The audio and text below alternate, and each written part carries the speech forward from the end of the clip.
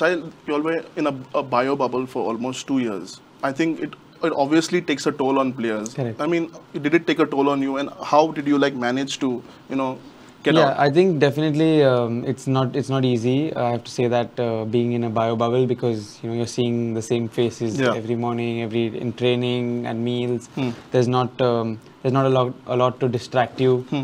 Uh, but having said that, I think it's all about uh, you focusing on what you're there to do. So I think uh, me, I am someone who's uh, quite good at that in the sense Hmm. that you know I'm there to to play for Hyderabad FC to to train well and to to play well in the games.